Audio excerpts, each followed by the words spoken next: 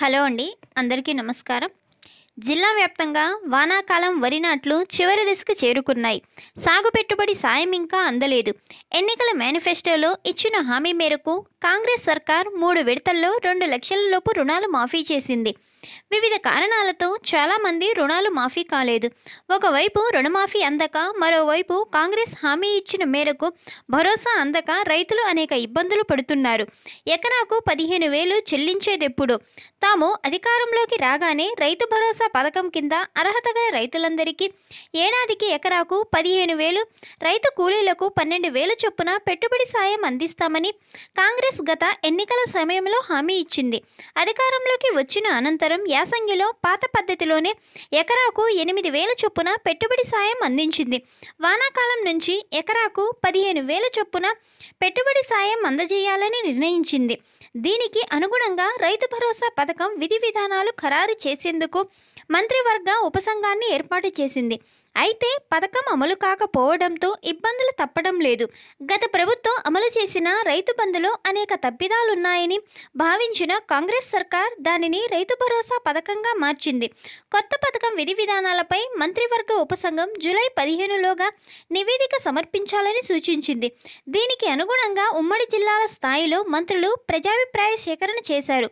పథకంలో మార్పులు తేవాలని కొందరు ఐదు ఎకరాల్లోపు రైతులకు పథకం వర్తింపచేయాలని మరికొందరు అభిప్రాయాలను వ్యక్తం చేశారు. అలాగే పది ఎకరాలను కటాఫ్గా పెట్టాలని రాజకీయ నేతలు ప్రభుత్వ ఉద్యోగులకు ఇవ్వవద్దని వివిధ వర్గాలు తమ అభిప్రాయాలను తెలియజేశాయి.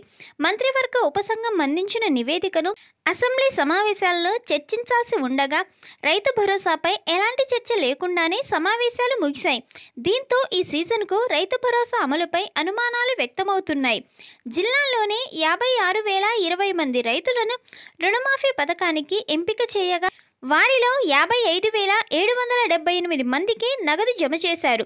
వారి బ్యాంకు ఖాతాలో మూడు విడతల్లో నాలుగు వందల అరవై ఒక్క కోట్ల ఎనభై ఆరు లక్షలను ప్రభుత్వం జమ చేసింది.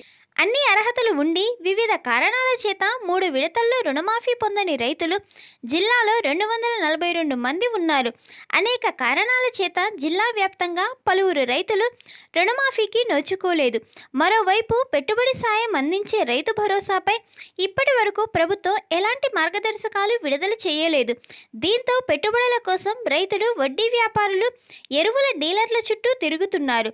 రుణమాఫీ మొదటి విడతలో ఇరవై ఎనిమిది వేల మూడు వందల తొంభై రెండు మందికి నూట నలభై తొమ్మిది కోట్ల నలభై ఆరు లక్షలను బ్యాంకు ఖాతాలో జమ చేయగా రెండో విడతలో పద్నాలుగు వేల మూడు వందల అరవై ఐదు మందికి నూట ముప్పై ఎనిమిది కోట్ల అరవై ఐదు లక్షలు మూడో విడతలో పదమూడు వేల ఇరవై ఒక్క మంది రైతులకు నూట డెబ్బై మూడు పాయింట్ డెబ్బై ఐదు కోట్లను రైతుల ఖాతాల్లో ప్రభుత్వం జమ చేసింది. ఈ వీడియోపై మీ అభిప్రాయాన్ని కామెంట్ చేయండి. అలానే ఇలాంటి లేటెస్ట్ అప్డేట్స్ కోసం మన ఛానల్ని సబ్స్క్రైబ్ చేసి సపోర్ట్ చేయండి. Thank you